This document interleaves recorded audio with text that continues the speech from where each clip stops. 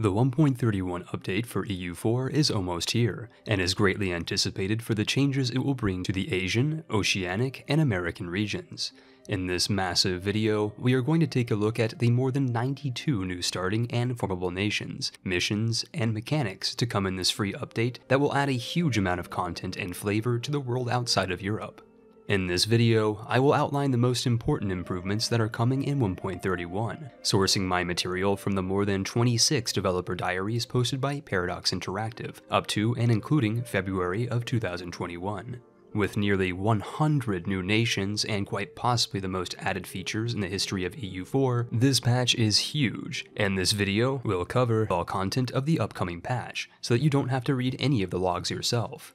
This video will be long, but entirely comprehensive, and if you'd like to navigate to the different sections, I'd highly recommend taking a look at this table of contents, which will also be available in the description box below. With that out of the way, let's explore Southeast Asia, the first region to receive a complete overhaul in 1.31. Indochina and the Malay Archipelago are the first regions to receive new starting states and formable nations in the upcoming update, for the peninsula in particular, more than three new starting tags and an in-game formable nation will make an appearance. Within the peninsula, existing states will further benefit from the addition of 64 new provinces and a net increase of 542 development that will supercharge this region into one of the richest zones in EU4.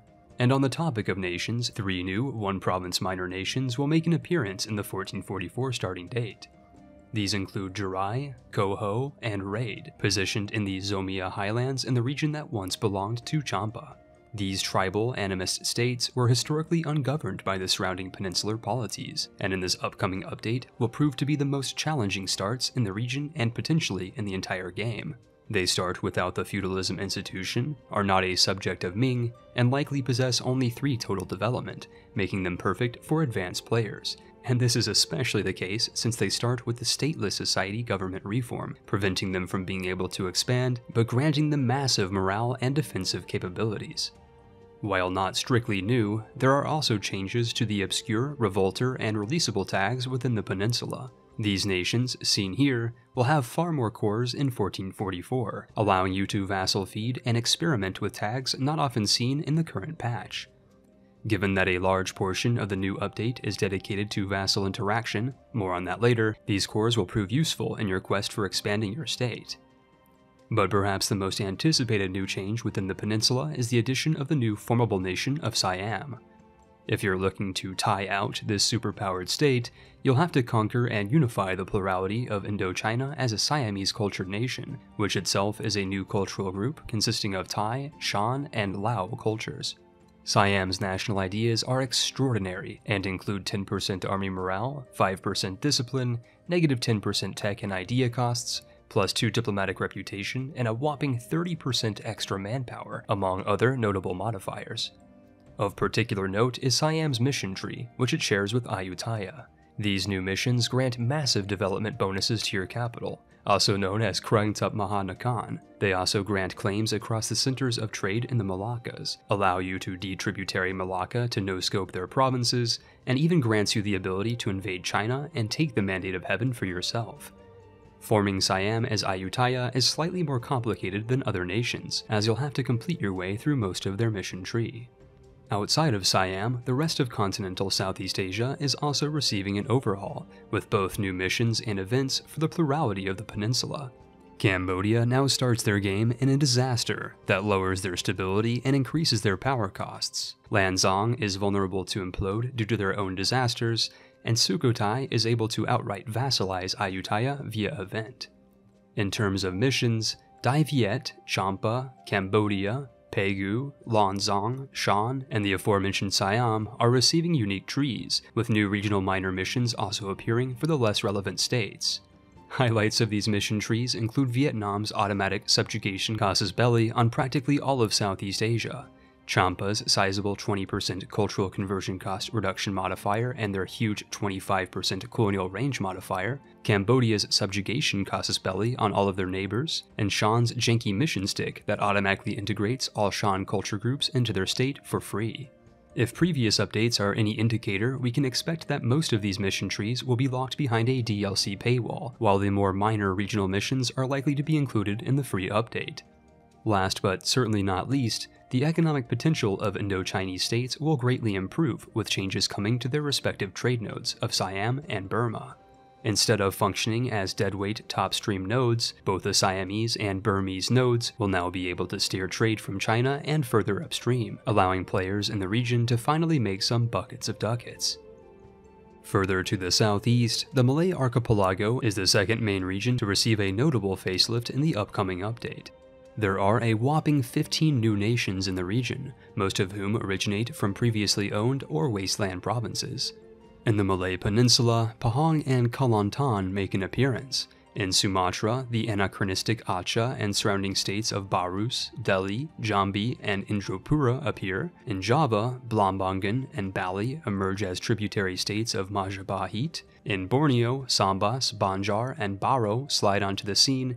And finally, in the Moluccas, the animus state of Bone breaks into the zone. And speaking of the danger zone, the two new revolter tags of Demak and Mataram can appear in Java if Majapahit explodes, a likely outcome that is tied to their unique starting disaster. By 1444, Majapahit is the Byzantium of the Spice Islands, and quite literally starts the game with negative 5 stability and negative 50 legitimacy, so you'll have to think quickly if you want to avoid the balkanization of your lands.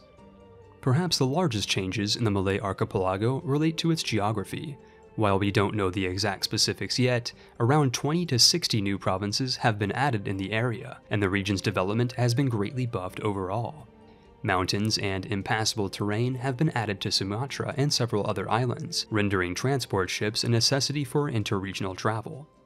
What's more, all sea zones adjacent to maritime Southeast Asia and the Philippines are now considered inland seas, meaning that galley ships will be far more effective in naval combat in these regions. Religion in Southeast Asia has also changed substantially, with a greatly expanded sphere of Hinduism and animism supplanting the previously Islamic regions of southern Borneo and eastern Sumatra. Last but certainly not least, all nations within Southeast Asia will also receive new unique missions, with the more powerful states and formables receiving the most potent, Notably, Majapahit, Brunei, Malacca, Aceh, and the Spice Islands obtained the greatest gains, though the Philippines, Sunda, and the Sumatran minor nations also have new and unique regional missions. The most notable include Aceh's inbuilt sort of Islam Casus Belli that allows them to convert all Malay cultured nations to Islam in peace deals. Malacca's unlimited subjugation Casus Belli they unlock against all Malay cultured nations after they destroy Majapahit, Majapahit's insane ability to convert all tributaries to vassals and colonize the region more effectively, and the Spice Islands mission rewards that grant an extra permanent colonist and a massive 50% colonial unrest modifier that allows them to use the trade with natives policy to entirely avoid indigenous uprisings. Of course, all other minor nations in the region also receive the newly redesigned Malayan Mission Group, while Philippine states gain claims across their neighbors, including Madja-as's claims on Borneo. While the new nations and missions of Southeast Asia are interesting, I'm personally more hyped up for the changes coming to Oceania. If you've been watching the channel for a while, you know that I've been eagerly awaiting Polynesian tags, and in 1.31, I'm happy to announce that we will receive 17 new Polynesian nations to choose from in 1444, including three new formable nations. While incredibly isolated from the rest of the world, these seafaring states will receive a bounty of new provinces and development for your next boat-only World Conquest campaign. In terms of new countries at campaign start, the region of Fiji will include four new tags on the added island provinces of Viti, Vanua, and Lau, with each boasting their own independent chiefdoms. Once you unify these three precarious polities, you'll then be able to unlock the formable nation of Viti. Further to the south, the Maori tribes of what is today New Zealand will receive seven new tags, and the solitary Watahaya on the southern island. Despite Zealandia already existing as a formable nation in the region, the Maori tribes can form the newly formable Aotearoa if they're able to haka their way into unifying the islands. Further to the northeast, Hawaii has been split into the four island provinces of Hawaii, Kauai, Maui, and Oahu, which each form their own eponymous nations. If you're able to Kamehameha the disparate states and unify the archipelago, you'll also be able to form the new Kingdom of Hawaii, the third formable state in the new update. Last but certainly not least, Samoa to the south has been split, with the new tag of Tonga taking an independent position. And speaking of Tonga, the developers have hinted that they will be the most powerful state in the region, and only their mission tree has been revealed as of the making of this video. From the admittedly vague information that we have, we can deduce that Tonga, and perhaps the other Polynesian tags, will have missions that grant them claims across the Pacific Ocean, allow them to subjugate their neighboring states, permit them to colonize their outer islands, and even attempt a sunset invasion. But missions are not the only new addition to this recently revamped region, and the developers have revealed that more than 40 events that reference Polynesian and Maori culture will make an appearance. Last but certainly not least, the final additions to these Pacific polities include changes to culture, with Maori and Iwi forming the two new subsets of the Polynesian ethnic group. Perhaps surprisingly, there's even a new technology group, Polynesian, which starts at technology level 2 and will probably include a unique subset of pips and graphics for their soldiers and military units. Other aesthetic changes, like renamed estates, will also make an appearance, though there is no definitive lead as to what religion these new nations will follow. It is probable that all 17 tags will be animist, and there is the potential for them to possess unique government reforms that have not yet been observed. The national ideas for both Fiji and the Maori have also been revealed, and they're pretty awful. Hopefully, the formable nations of Hawaii, Viti, and Aotearoa have ideas that are more viable, Otherwise, players will likely culture swap to more competitive tags. The third and final region receiving an overhaul in 1.31 is North America. This region is long overdue for an expansion, and Paradox have really outdone themselves by adding more than 56 new native nations here in the 1444 starting date. North America will no longer be a barren wasteland or free real estate for European invaders, and in 1.31, there are a ton of new and exciting mechanics to breathe life into Native American campaigns. Perhaps the largest addition to this region are the substantial changes to the way Native American tribes are portrayed in-game.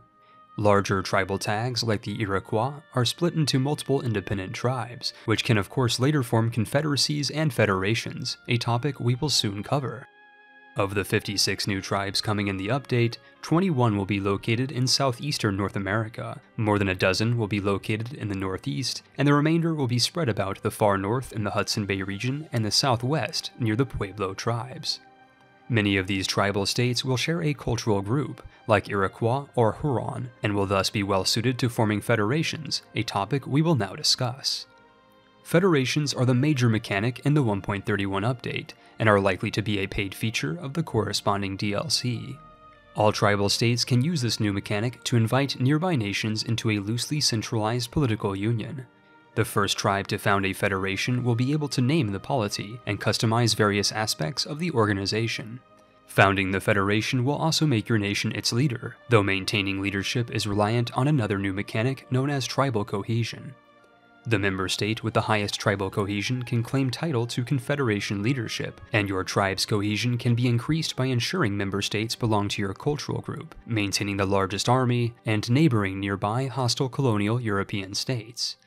Unfortunately, information about federations is a bit limited at this time, but we can safely assume that tribal members fall somewhere between a political alliance and loosely organized subject states. The second major redesign of Native American states is the mechanic of migrations and tribal land. While migration has existed in EU4 for quite some time, the mechanic is receiving a massive overhaul in the upcoming update.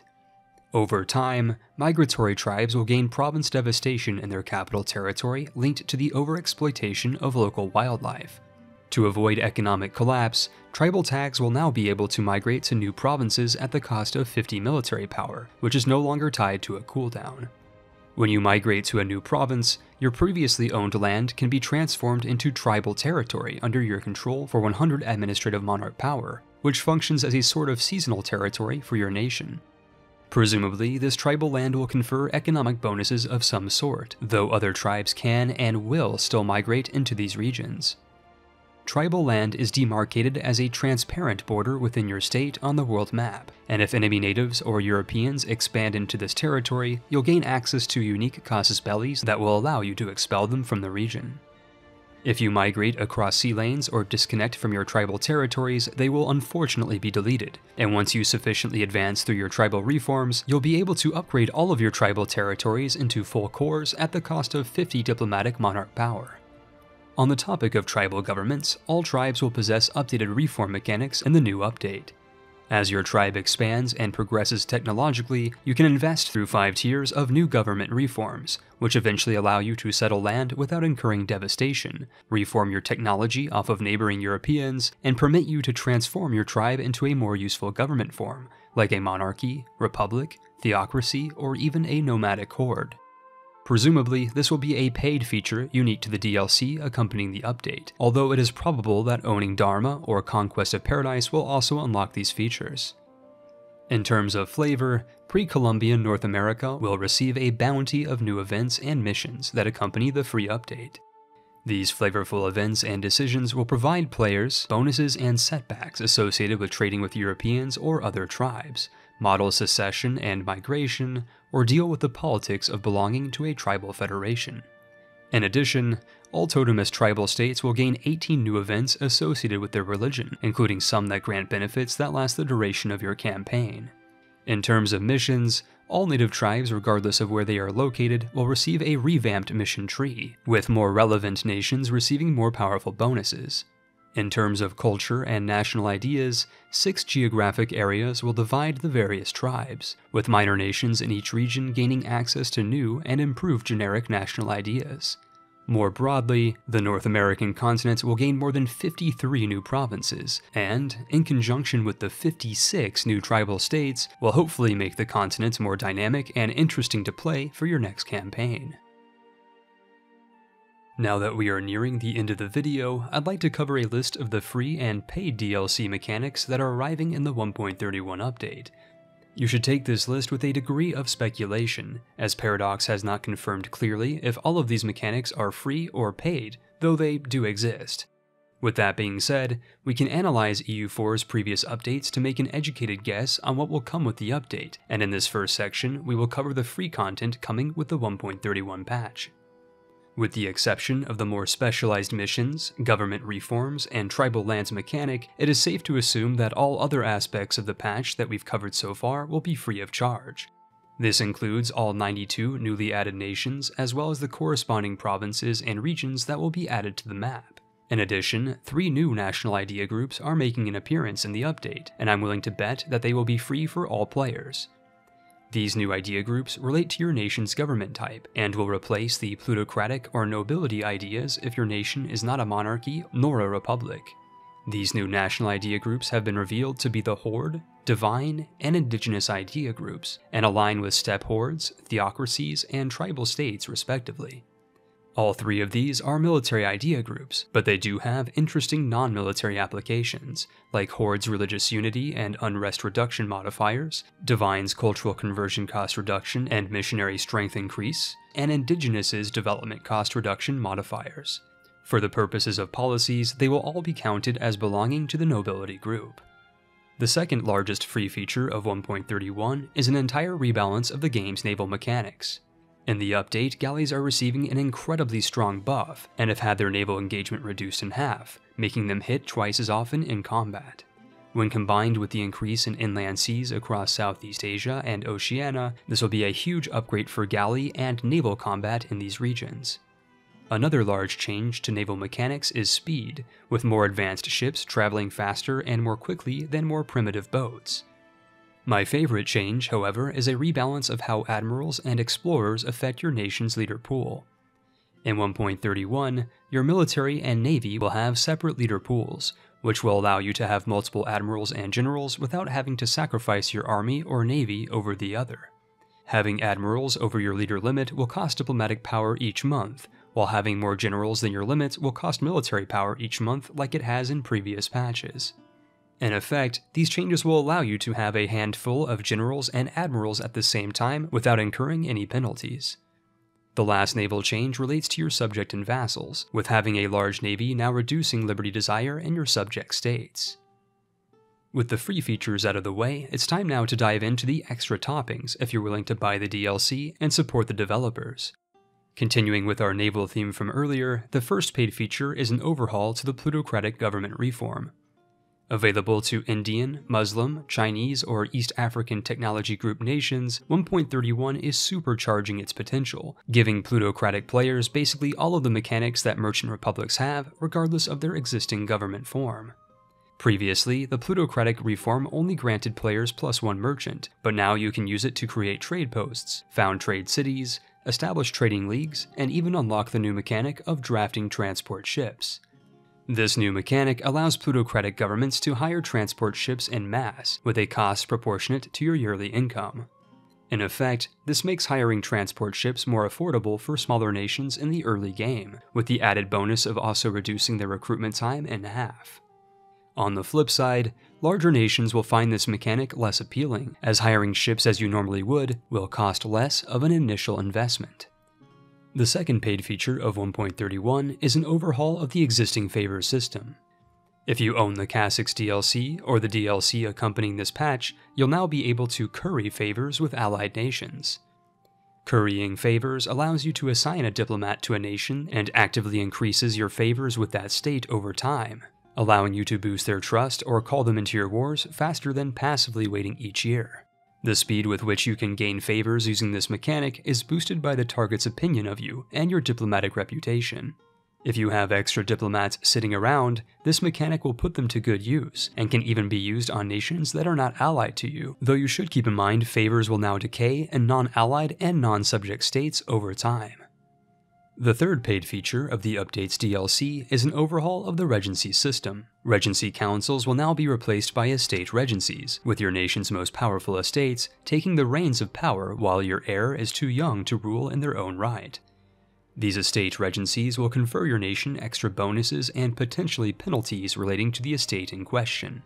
What's more, you can now extend your regency by 5 years at the cost of 10 legitimacy, which is a great mechanic if your heir is an inbred Habsburg. Regencies will also apply a penalty on increasing your stability, but will no longer decrease your legitimacy over time. The fourth paid mechanic is an interesting feature, particularly for players interested in playing tall. If you like playing small nations with large development, you'll now have access to the Expand Infrastructure button in your province's user interface, all of your provinces with at least 15 development will be able to use this feature to gain two building slots at the cost of a 200% increase to the local governing cost of that state. If you like playing Switzerland, the Netherlands, or any other country that punches above their size, you'll want to check out this mechanic, as the governing cost modifier is negligible compared to the benefits of more manufactories and production buildings in your cities. The final paid mechanic relates to obscure religions, and may or may not be a paid feature but if previous DLCs are any indication, they probably are. Sikhism, Zoroastrianism, and totemist religions are finally getting some attention, which is fantastic if you are the three people that actually play with these religions. Sikhism will now allow players to choose between guru teachings, which grant the player bonuses on top of the pre-existing modifiers that already exist in their historical event list. Fans of Freddie Mercury and Fire Temples will also rejoice, as the Zoroastrian faith will now appear in the Indian province of Daman in the 1444 starting date. Zoroastrians will now also receive a mechanic similar to Coptic Christianity, in that they will have holy sites spread throughout Persia and Asia, which will grant bonuses if you control them, like increased government capacity and other minor modifiers. Lastly, if you're playing a totem estate, you'll gain the ability to worship your ancestors. This mechanic allows you to pick up to 10 stories from your previous rulers, effectively allowing you to stack modifiers that carry over to your future king and queens. From what we can gather thus far, these modifiers function like ruler personalities, although unlike random personalities can be used to grant your leaders modifiers of your own choosing. As of February the 5th, these features and redesigns are current with everything we know about 1.31, though there are likely to be more developer diaries and mechanics that have yet to be revealed. It will be interesting to see what theme Paradox decides to embrace with this update, as its immense scope covers almost everything outside of Europe and Africa. It is no exaggeration to say that this update is the largest to hit EU4 thus far, and with over 94 new nations, hundreds of new provinces, and substantial changes to the way that we play the game, is hyped beyond belief, and I personally can't wait to play the new Polynesian states. While no release date is yet confirmed, an entirely new studio has opened up in Barcelona to tackle EU4 expansions, and we can hopefully expect to see this massive patch coming soon in a hard drive near you. Before ending the video, I'd like to thank you for watching this far and supporting the algorithm. If you're interested in staying up to date with EU4 and strategy gaming in general, I encourage you to subscribe to the channel and enforce a personal union over the notification bell. If you want to pick up EU4, DLCs, or any other Paradox Interactive title on sale and at a reduced cost, you can check out my channel's Nexus store in the description box below. This affiliate link directly supports the channel, and any games that you purchase will be given to you in the form of Steam keys. As always, I greatly appreciate comments and recommendations for future videos, so if you have any ideas, be sure to leave them in the comment box below. Without further ado, it's time to roll the credits.